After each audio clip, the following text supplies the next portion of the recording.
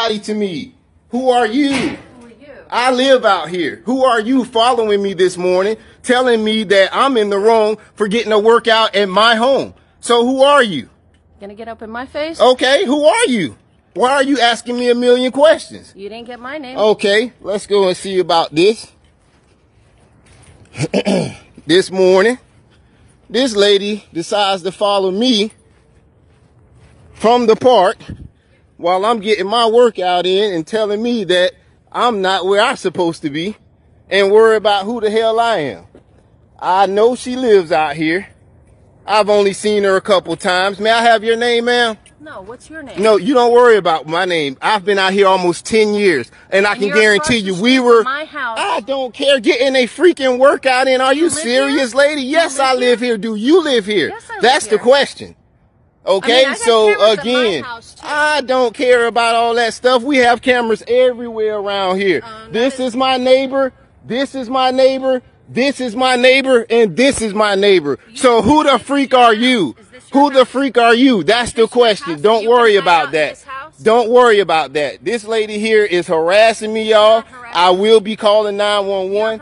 You're We are right here at Royalty Road, 5700 and Royalty Court.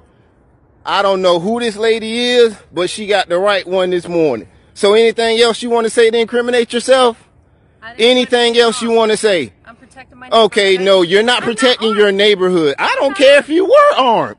I don't care if you were armed.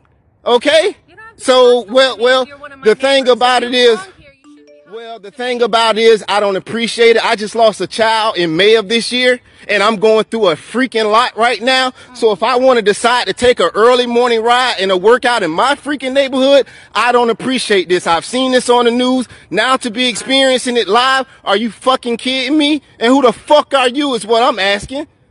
Don't fucking play with me this morning. I promise you I'm not the one. So you can't. I promise you, I'm So not the one.